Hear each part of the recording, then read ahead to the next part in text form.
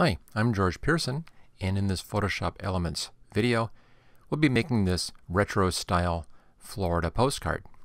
Now, if you like this video, make sure you click that like button, and of course, don't forget to share with your friends. Just click on that share button as well and share.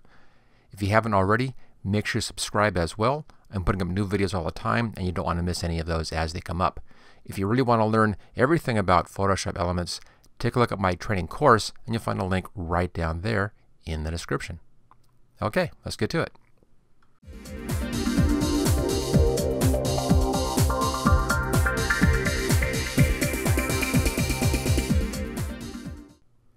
We'll start off this project with a brand new file. Let's just close this down and then File, New, Blank File.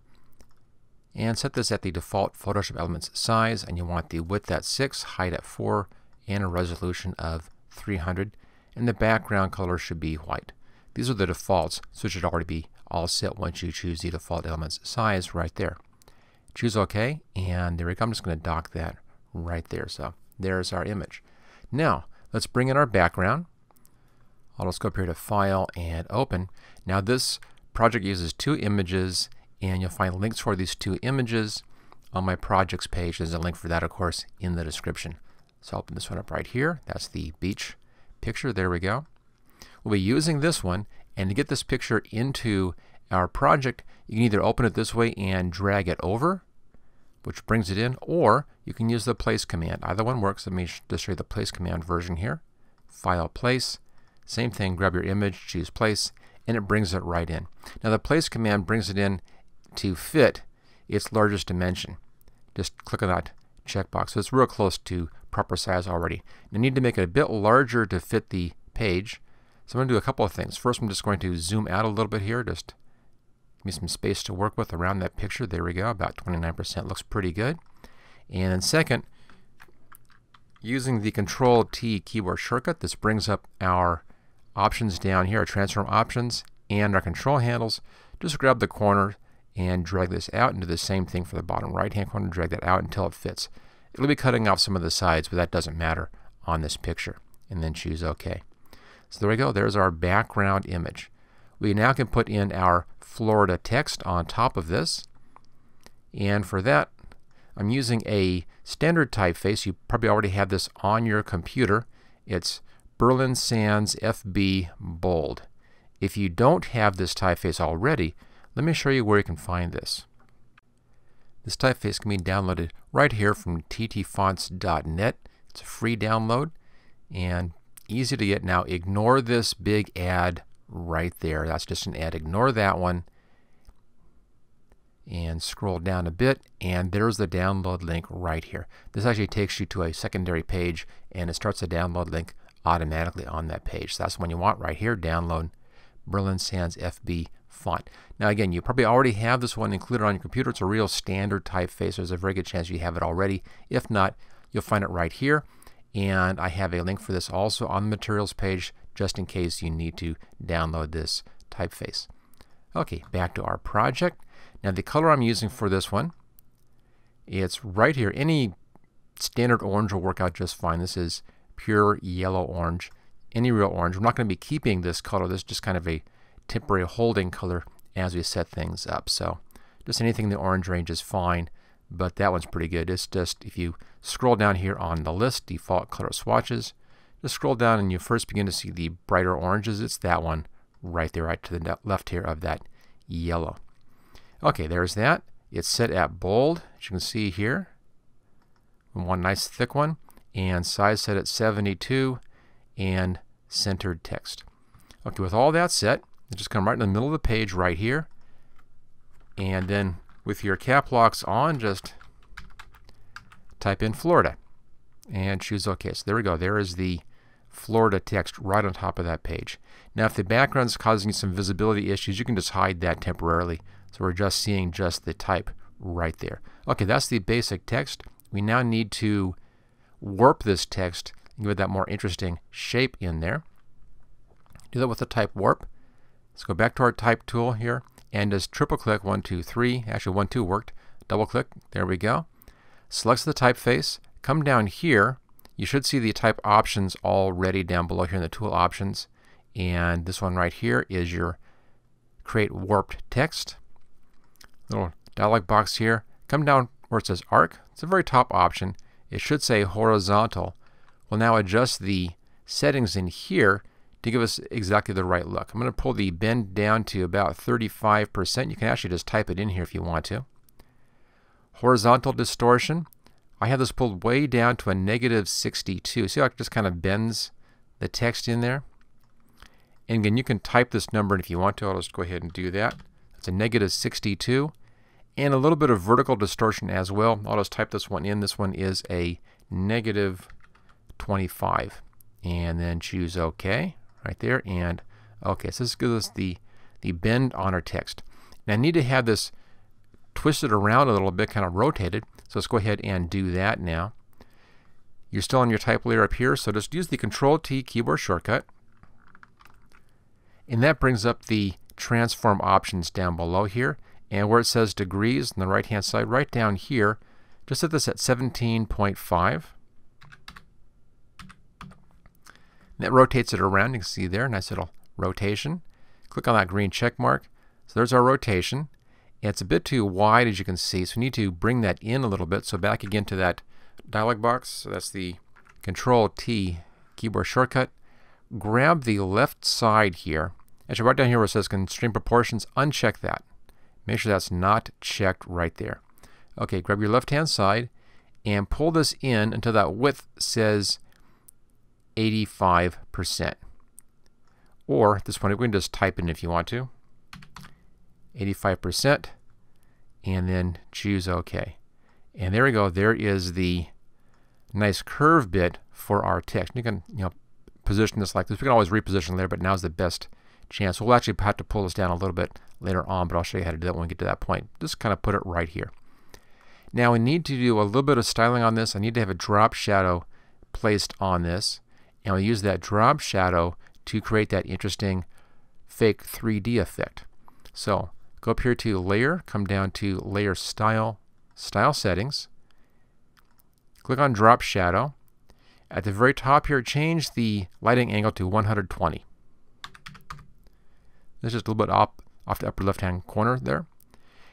Bring the opacity here all the way up so you can really see that drop shadow showing up in there. Set the size at zero. This makes it a hard edge. So zero size. Bring your distance out to six. There we go. Now we need to have this drop shadow a brown as opposed to a black. So click in here and right down here we have this little pound sign.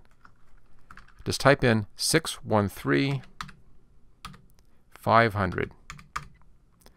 They're just kind of a dark brown. Choose OK. So that matches that color. And then choose OK. So there we go. There's a nice little drop shadow on that. Now we're going to be doing a neat little trick in here and making a bunch of duplicates of this layer and then offsetting them a little bit each time we make our duplicate. By doing that, it'll give us that fake drop shadow. The We'll be seeing this edge of this drop shadow in here, giving us kind of a 3D effect. You'll see how that works here in just a second. Now it's a special shortcut key, kind of a couple different keys that we'll be using in here. First one is hold the Alt key down and tap on the up arrow once. What that does is it makes a copy and moves that copy up one notch. Let me just show you that. There's the, let me see that kind of just moved it up just one notch. So it's up one notch and then hit the left arrow key without the Alt key, so left arrow key, and it goes over one. So we've copied and moved up one, and we went over one.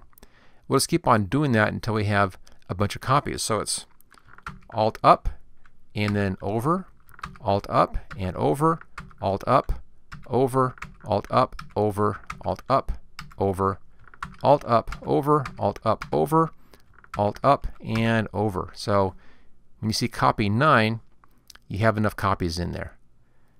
So what we've done is we've just kind of been making these copies. They're stacked on top of each other. And that drop shadow is what we're seeing in here as that fake 3D edge. So kind of a cute little neat trick. Let me just explain that again. I'm not going to do it again, but I'll also explain it again. You hold the Alt key and hit the up arrow that makes a new layer and moves it up one. And then you hit the left key that goes to the left one. Okay, there we go. I'm just going to zoom in real tight. You can actually see the leveling at the edges in here a little bit. you zoom in, there you go, a little kind of banding. Each one of those layers in there has been, you know, kind of up and over, up and over. And that's a little bit of a drop shadow you're seeing there each time. But when you're back here, you don't see any of that, and all you see is this nice fake 3D effect. Okay, so far so good. Now we're on our top layer up here. We're going to be adding in some more layer styling on this so it looks a little bit better. And let's just double click where the FX is right there, double click. Let's add a stroke. Now we're doing this just on just that one top layer up here. That's our foreground layer. And set the position to center. Bring the size up to 13. So that's 13 pixels. And then change the color here. Click on that little icon. Click in here someplace and drag to the upper left hand corner. And that gives you white or just type in all F's down there. Either one works. It's a nice little white border around the text and choose OK. All right, now we can bring our background picture back in again. So we're now seeing our text on top of the background picture. So far so good. Now it looks like it's a little bit low to my eye at this point. We can adjust that. Just click on your top layer here. Hold the shift key and click on the bottom one of your text layers. They're all selected. And then just use your arrow keys to reposition that a little bit. I'll just move it up just a bit. I think that looks a bit better right in here someplace. There we go. Okay, so there's our Florida with our background picture. All we have left to do now is just that kind of fun little retro edge around our picture. And we'll do that. Down here, come down to the background layer. Let's hide the beach picture right there. Change the foreground background colors to their defaults. Just click on the little little bit right here, this little icon. Black is your foreground color. Come over to graphics. And in graphics, I'll scroll to the top. There we are. Here's our graphics. We're in by type and shape. And then scroll down a ways. You'll see kind of big blotches of black. Here we are. Right here, there's this one right there, just kind of a, a ziggy-zag edge on it. It's called Crop Shape 20. Click on that, and you should see it drop in behind your Florida text. Okay, back to our layers. There it is. Now, if you want to, you can hide all of these foreground layers, and if you're working on a more recent version of Photoshop Elements that has layer groups up here, you can actually put all these into a layer group, just kind of clean things up. I'll leave them out so this is works with any version of Photoshop Elements. let's just hide all this stuff. Just click on the eyes in here. We'll just hide all those layers. There we go. Okay, we're on our shape layer. Let's put in a couple of guidelines. Actually, one will be enough. Just grab the left-hand side ruler here and pull it in until it hits that 3. If you're not seeing your rulers, just go up to View and make sure that rulers is selected right there. Also make sure that guides is checked as well so we see our guides. Okay, now on this shape, bring it up here so it's just up, just up next to that edge. Use that Control T keyboard shortcut again to bring up our control handles and pull that down so it just about touches that center line. And choose OK. Now, take that layer, make a copy of this or duplicate, just pull it up here to the new layer button, makes a copy, pull that over here to the right, and see how it just kind of overlaps right there? I'm going to zoom in at the top so you can see this. There we go. Now I'm on the right side one, and I'll use the left arrow. I'm just going to kind of back this up just like that until that top edge matches. And you can go up and, and see that a bit better. So if it's popping above like that, you're too high. If it's popping under, you're too low. So just kind of move it back and forth until you get it nicely lined up so that it matches these other points. And that looks like that's pretty good right there. Okay, let's just back to fit screen. So I now have this look. Now these are on two separate layers. So let's merge these two layers. Hold the control key down, they're both selected. Right click and merge shapes. Working with shape layers, so merge shapes. Now take this one, make a duplicate of this, but bring it up here to the new layer button, and then pull that straight down. So you're just down below, and then using your arrow keys again, pull it up until it just matches. This time you're watching the left and the right sides, you know, over here or over here. And we'll zoom in on that so you can see that. Looks like it's right there. And again, the up and down arrows, you can kind of see that moving. There it is. Let's back out just a little bit here. I'll just zoom back out just a bit. And we'll see how that looks compared to everything else. Actually, that's about where it should be. Now, the waves in here aren't really even throughout the whole picture. So don't worry about it. If it's off by just a little bit, that's just fine. Okay, I think we're good here. Let's go back to fit screen. And then select both of these two layers. Again, hold the control key down, click on your second layer, right click, merge shapes. Back to our move tool up here, and then the control T keyboard shortcut again. This is pull us away from our upper left hand edge there and pull it down just a bit. And it should be able to be centered just like that. So it's kind of same amount of space around the outsides. That's all good. Let's now show our beach picture again. Go back to the beach picture, right click, and choose Create Clipping Mask. This puts the beach picture inside of that black shape, and there we go. There's our kind of nice retro border effect on here. Last little bit, come down to the shape layer, and let's put a drop shadow on that. Go up here to Layer, Layer Style, Style Settings, and in the Style Settings, drop shadow, it should still be at 120 degrees. Size at 7, that's the default, that's fine. Let's set our distance at 19. And the opacity should be 35 already, that's also the default. Choose OK. There's a nice little drop shadow. Let's go to the background layer and let's hide that guide. Uncheck guides. And there we go. Okay, see how this looks. I'll just pull this out and use my floating windows here and pull that down and zoom in a little bit A couple of clicks should do it. And now we have our background and our nice little edge in there. See that? Okay, let's go ahead now and just show our text layers again. And I'll start from the bottom layer. And I'll just begin walking my way up here. Bring our text layers in.